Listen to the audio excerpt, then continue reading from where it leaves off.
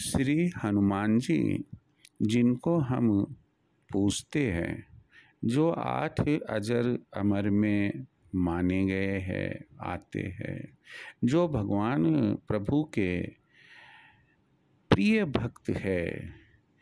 मैं केवल आपसे एक यही प्रश्न करना चाहूँगा कि उन श्री हनुमान जी के गुरु कौन थे?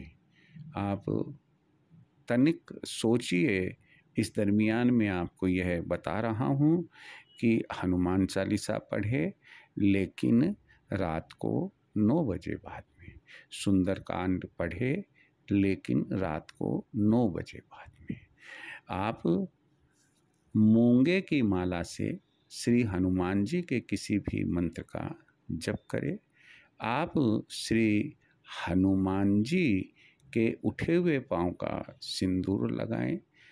आप श्री हनुमान जी को प्रत्येक मंगलवार 21 लौंग की माला रात नौ बजे बाद पहना कर आए।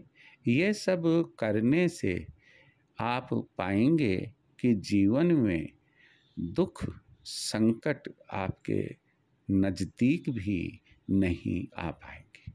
चलो मैंने आपको एक प्रश्न दिया था कि श्री हनुमान जी ने दीक्षा किससे ली?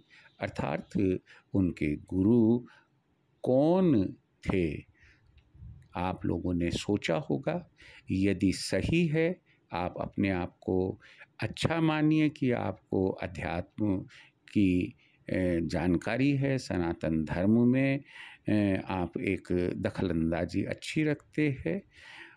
तो मैं आपको ये चीज़ की जानकारी दे दूँ कि श्री हनुमान जी ने दीक्षा भगवान सूर्य देव से ली थी।